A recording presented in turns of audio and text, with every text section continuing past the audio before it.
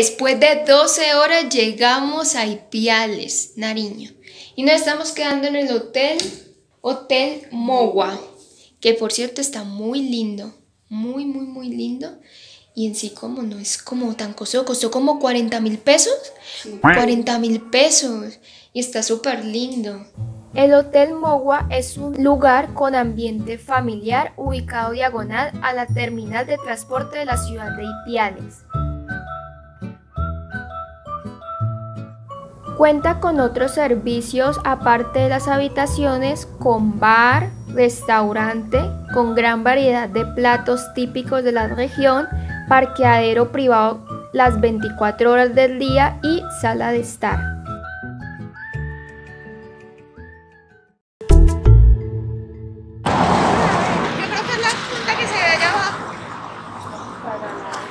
Vamos para el santuario de las lajas.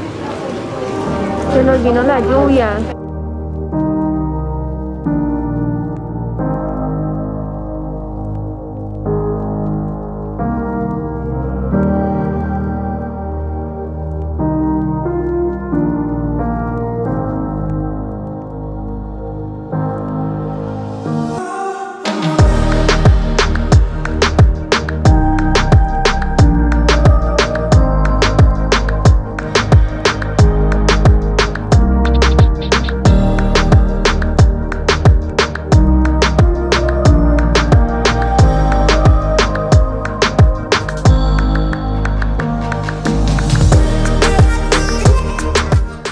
Vea José, ¿qué recomendación da? Hay que Eh. traer chaqueta, ¿cierto? Eh, no. ¿No?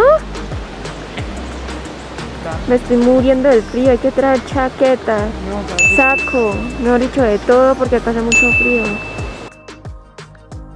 Cuenta la historia que a finales del siglo 1700 una mujer y su hija sordomuda caminaban por el cañón del río Guaitara cuando empezó una tormenta muy fuerte. Ellas empezaron a sentir una voz que las llamaba y vieron entre las rocas arriba la imagen de la Virgen María.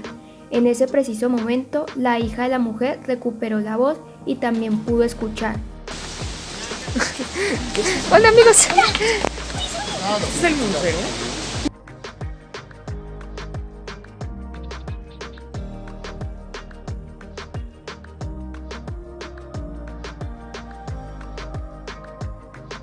Bienvenido al telesférico de las Lajas.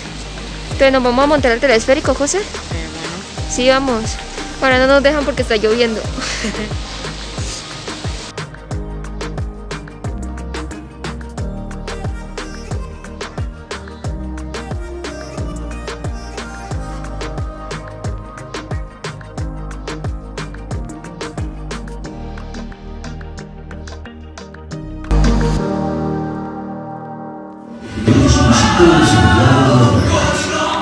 recomendamos los distintos lugares donde puede adquirir souvenirs, pagar misas y dejar su ofrenda, ubicados en la plazoleta Justino Mejía Mejía, en el local 101 del nuevo hotel, Casa de Peregrinos y junto al santuario.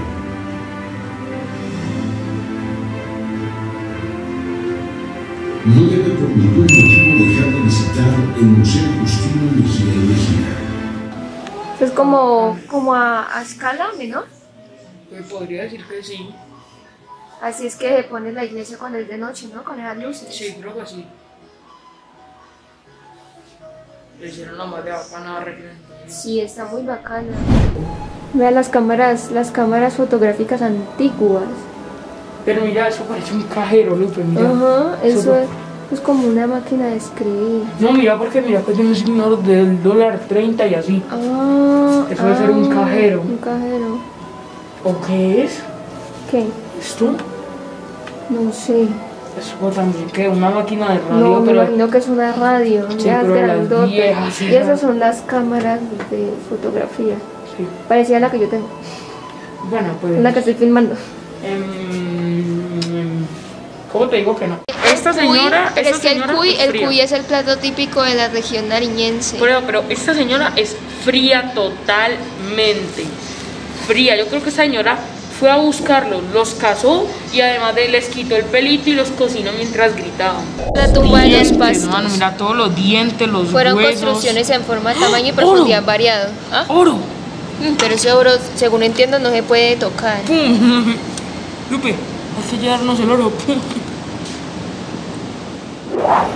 Vean, eso es una, eso es una casa actual de indígenas y campesinos en Nariño.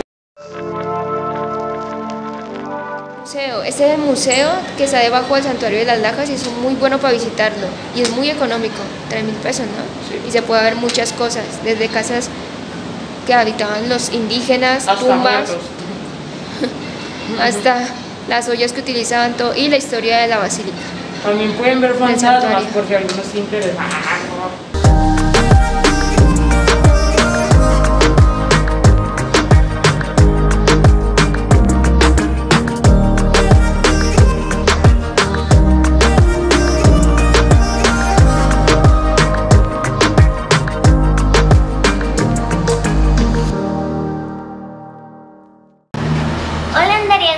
andariegas, ¿cómo están?